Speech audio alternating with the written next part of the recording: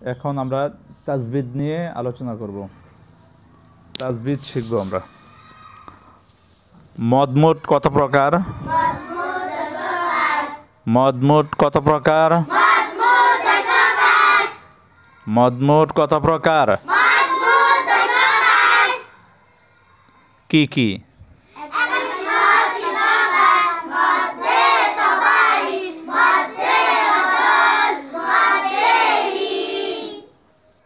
আচ্ছা। তিন আলিফ মদ কত প্রকার?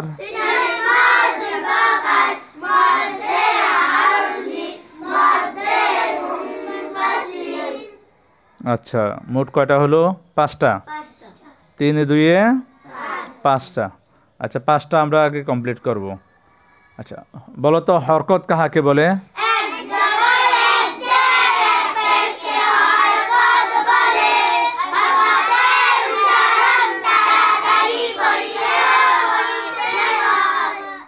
যেমন? আ ই উ বা বি বু।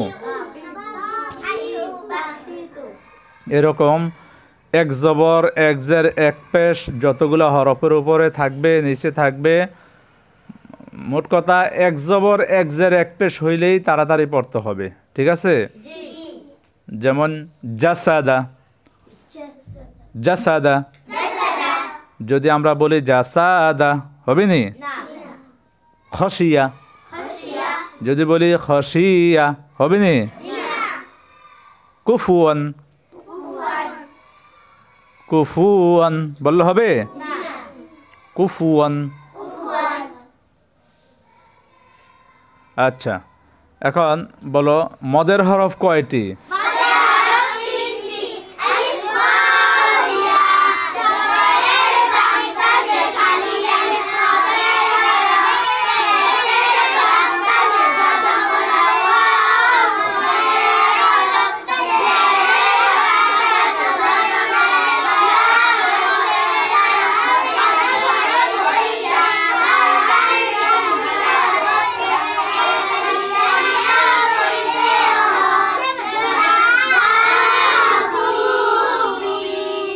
মাশা আল্লাহ তারপরে মধ্যে বদল কাহাকে বলে?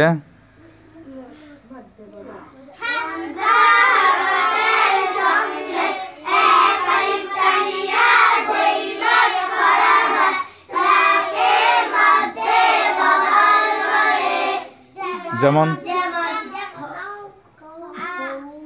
আ ই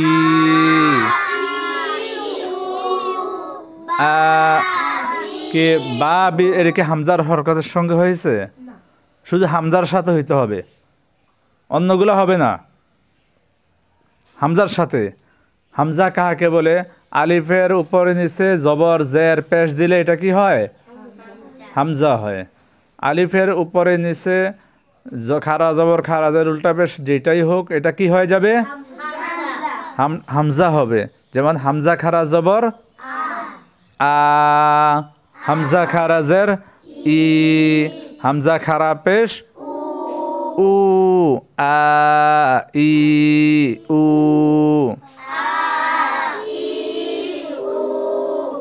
আচ্ছা লিন কত প্রকার? কি কি?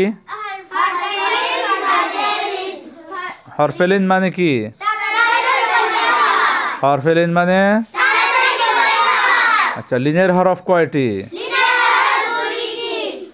লিনের অফ কয়টি? কি কি? ওয়াও। সাজাইয়া বলো তো।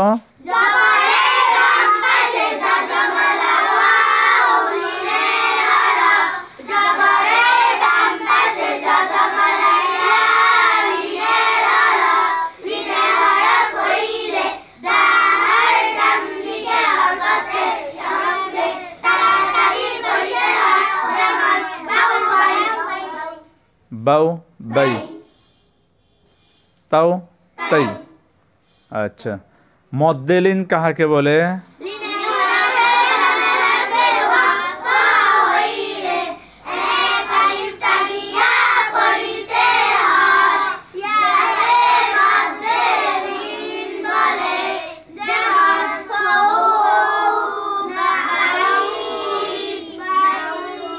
صيف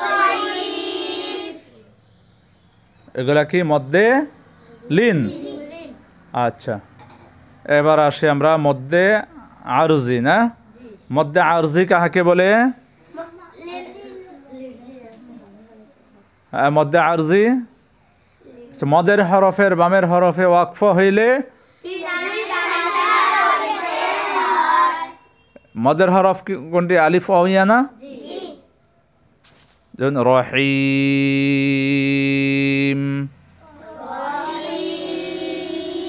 بسم الله الرحمن الرحيم.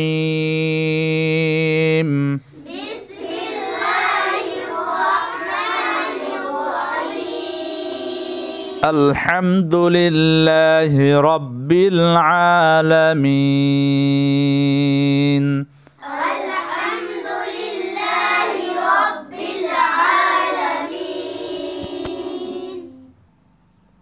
الرحمن الرحيم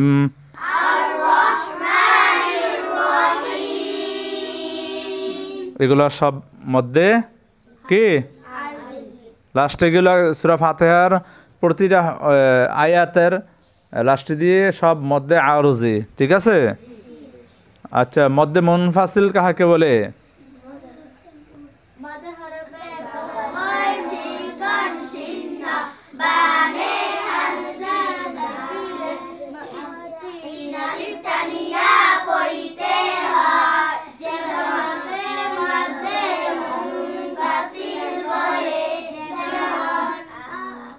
لا إله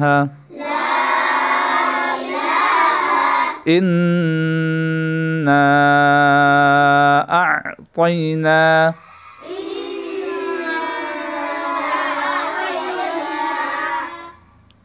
মধ্যে এ, আচ্ছা এখন আমরা জানবো ওয়াজিব গুন্নাহ কাকে বলে ওয়াজিব গুন্নাহ কাকে বলে হরকতের বামে নুনে বা মিমে তাসদিদ হইলে গুন্না করিয়া পড়িতে হয়।